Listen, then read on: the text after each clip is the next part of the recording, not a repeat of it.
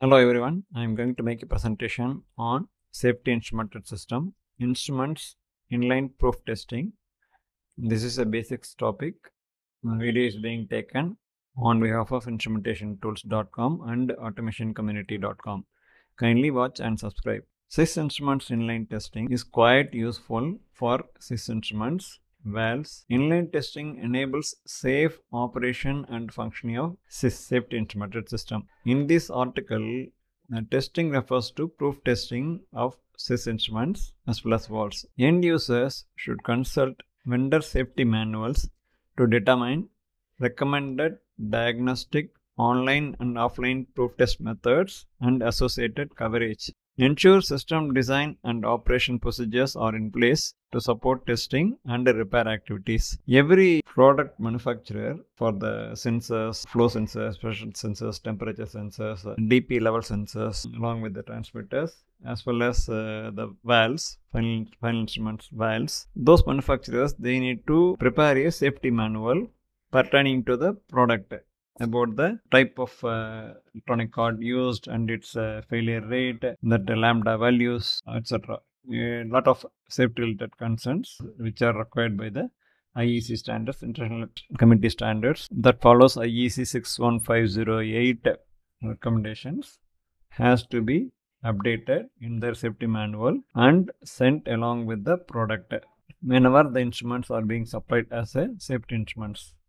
So the user has to look into the different aspects to determine the different online offline test methods possible with that instruments. Moreover, it is imperative to conduct proof tests at the intervals in the safety requirement specifications. In general, the safety requirement specification determines the proof test coverage to be done in certain period like 2 years, 3 years, 4 years depending on the type of instrument configuration as well as the number of instruments available and the voting systems. It has different categories based on which the proof testing period is being determined and entered into the safety requirement specification form. The purpose of a SIS is to reduce risk through instrumentation. Proof testing is an effective means to detect failures that reduce system reliability for low demand SIFs and thus enable timely repair. So why do we do proof test? Because this is to ensure that undetected failures cannot happen because during every proof testing the internals, the electronics are being checked and the instruments it made healthy as a new. So that's why the proof testing has to be conducted without fail at the calculated intervals. An operation team must understand how decisions such as extending proof test intervals turnaround cycle affect demand rate and sustainability. Supposing some instruments are planned to be tested in 5 years and the plant's turnaround period comes as 6 years. So, in this case, whether it is good to isolate the instrument or isolate the equipment to do the proof test in 5 years or it is wise to keep it running until 6 years. So, the decision has to be taken cautiously by the operations team along with the safety experts and which shall not impact the SIS reliability also. Diagnostics as well as online and offline proof testing can be useful in detecting device failures so repairs can be implemented and devices return to services. So the diagnostics is an additional feature on this uh, safety instrument system. So which can which can help detect the device failures if any.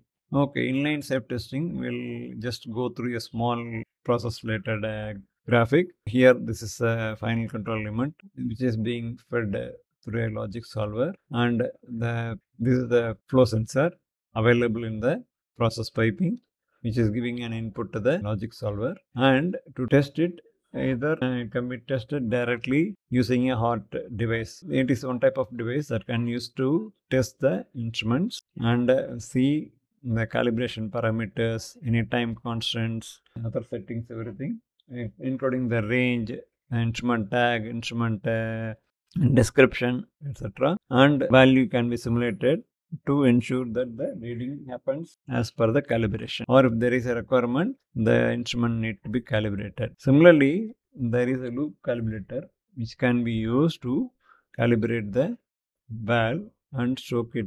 In this case, being an on-off valve, it will be stroked from 0 to 100% by giving a command from the DCS. So this is just uh, given as a reference as a total loop uh, safety integrity level is uh, which is equal to uh, PFD of uh, PLC, PFD of sensor and PFD, PFD of final control element. So this is for the um, understanding. So in this case, the instruments are being tested in line. Okay.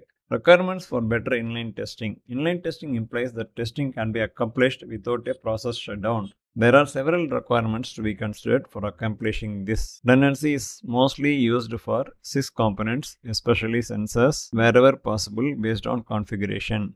A test of one SIS sensor can be done while the other SIS sensor continue to function.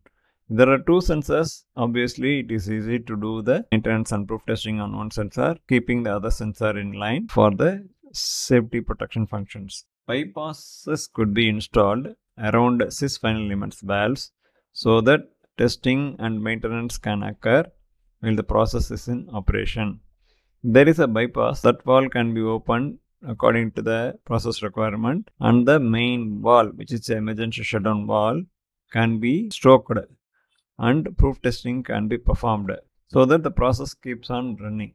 In batch plants, inline testing might be accomplished by shutting down one train of equipment while keeping the rest of the plant running to eliminate or reduce any potential production loss. If it is a batch plant, there may be identical trains, which is known as a similar kind of product will be coming out from that process. There could be 5 lines, 6 lines, 8 lines, depending on the capacity of the plant. So if that be the case, one line can be easily isolated and the product output which is coming from that particular line can be shared to the running lines. So in this case also, production will not be affected. So whatever the line to be tested only will be isolated whereas other lines will be running maybe at the same capacity or at a higher capacity to accommodate the uh, loss of production for the particular line being tested. Documenting occurrences where the required automatic action has occurred during the operation of the plant, such as a pump trip based on the same process condition that is required by the low power function. So the documentation has to be kept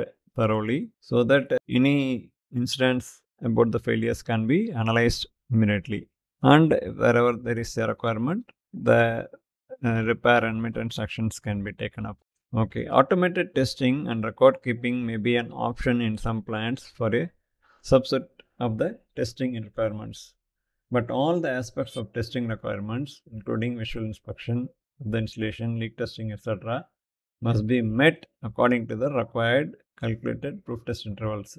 Some plants may overrule the proper documentation requirements and uh, which may eventually call for some safety related concerns if at all happening in the in future. Then the auditors who are coming for the auditing and to evaluate what what kind of damages happen and all they may go through the records about the testing of the safety instrument system instruments and valves for several years maybe 10 years 15 years from that period. They found that the records are not being properly taken or not done. So the insurance claims cannot be done this is the one concern Automated testing and record keeping may be an option in some plants for a subset of the testing requirements, but all the experts the testing requirements must be met according to the calculated proof test interval.